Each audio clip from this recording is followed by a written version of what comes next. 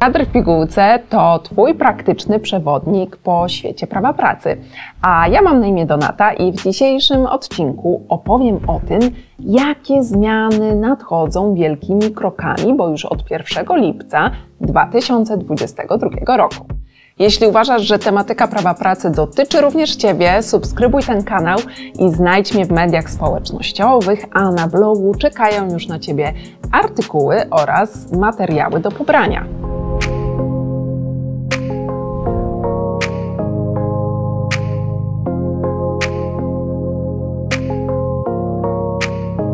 Wszyscy zadajemy sobie pytanie, jakie zmiany wprowadza nowy ład i w jaki sposób te zmiany będą miały wpływ na nas samych.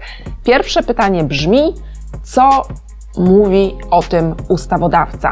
Re ustawodawca mówi, rezultatem wprowadzonych zmian ma być polepszenie sytuacji pracowników etatowych, których źródłem przychodu jest stosunek pracy osób osiągających przychody z tytułu umów cywilnoprawnych, kontraktów oraz innych rodzajów umów. A na czym w praktyce polegają te zmiany? Zostaje zlikwidowana ulga dla klasy średniej, zatem osoby odpowiedzialne za rozliczanie płac nie będą już odpowiadać na pytania pracowników, czy powinnam, powinienem złożyć wniosek o zastosowanie ulgi, czy też nie. W związku z tym, że przepisy ustawy wchodzą w życie w trakcie roku podatkowego, ustawa wprowadza konstrukcję tak zwanego hipotetycznego podatku należnego za rok 2022. Podatek ten, hipotetyczny podatek należny, powstał po to, aby podatnik miał możliwość sprawdzenia, czy w jego przypadku stosowanie ulgi dla klasy średniej byłoby dla niego korzystne, czy też nie. Przy jego obliczaniu będzie się uwzględniać tak zwaną ulgę dla klasy średniej oraz skalę podatkową obowiązującą przez pierwszą połowę roku. Jeśli podatek należny za ten rok będzie wyższy od hipotetycznego podatku należnego za 2022, właściwy naczelnik Urzędu Skarbowego zwróci podatnikowi kwotę tej różnicy. A kogo dotyczy hipotetyczny podatek należny? Podatników, którzy w 2022 roku uzyskali przychody ze stosunku służbowego, stosunku pracy, pracy nakładczej, spółdzielczego stosunku pracy oraz pozarolniczej działalności gospodarczej w określonej wysokości, którą widzisz teraz na ekranie. Stawka stosowana w pierwszym przedziale skali progresywnej zostanie obniżona z 17% do 12%. Opodatkowanie według zmienionej stawki ma dotyczyć dochodów uzyskanych w roku 2020 i obniżka podatku dochodowego od osób fizycznych ma dotyczyć wszystkich, którzy rozliczają się na skali podatkowej. Nie będzie miał znaczenia rodzaj umowy.